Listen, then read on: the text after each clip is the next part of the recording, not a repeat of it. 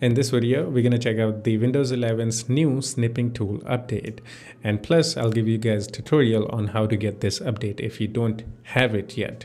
So in new snipping tool update, we have a screen recording option. Screen recording feature is also as simple as using a old snipping tool, which is still there. It's not like they removed it, they just added the extra feature. That's all. So to record a video, go to record option and then hit new.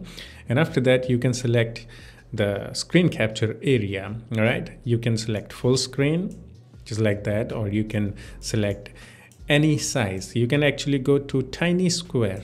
Just look at it. It's so tiny and I can make the tiny video. Select any size any aspect ratio uh, to record a screen just like you do with the image capture.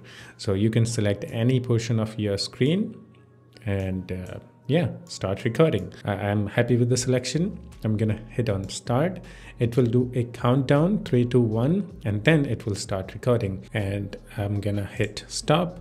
Now here we have our tiny video. I mean the aspect ratio is tiny that's all. Sadly we don't have any other features uh, in screen recording yet. Uh, like for example if we capture a image with this tool we can draw in it right? We can erase we have many other tools that we can use. We can crop it and whatnot. But with screen recording uh, we can just record a screen. That's all. It doesn't record your microphone. It doesn't have any options to do a settings for the video. So it's like you can do recording but you don't have any settings or no nothing like that. But still in my opinion this is really good update. I mean as i said again uh, you can record any portion of your screen any size any aspect ratio so really good. Maybe it will be something useful for meme makers. Now the tutorial how to get this update. This update isn't available for regular windows in stable version. It is actually available in dev builds and beta builds. So you can actually get a package from external site so first go to this website. Uh, this is a microsoft store link for snipping tool.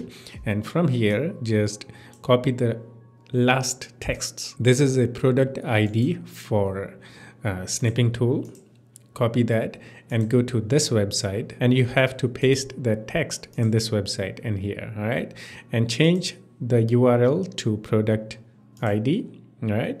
And then change uh, release preview to fast, all right? And then generate, click on that right check mark and it will give you a bunch of results and now what you're looking for is this one, uh, Microsoft Screen Sketch, this version and make sure that it is ending with MSIX bundle. Uh, as of now, this is the most recent version of this.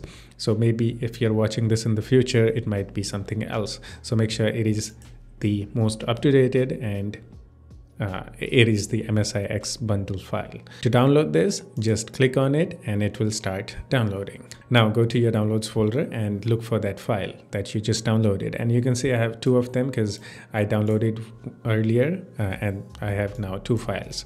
So right click on that and click on install just like that I have it already installed. It will give you the option to install. Just click on install and it will get installed. Let me actually reinstall just like that and you can see it is successfully installed.